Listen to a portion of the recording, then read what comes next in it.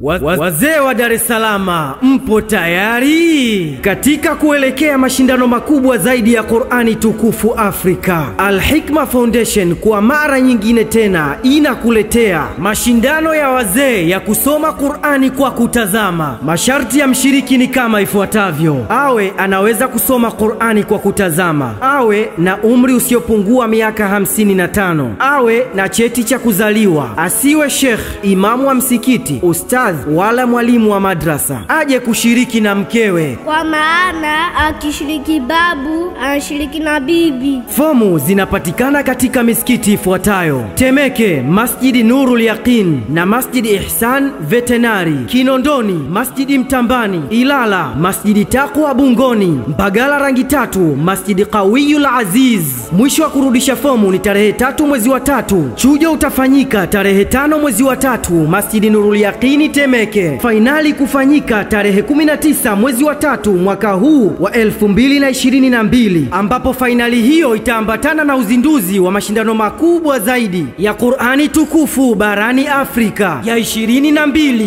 Zawadi kwa washindi ni tiketi ya kwenda Maka kufanya ibada ya umra. Kwa maana Ehe.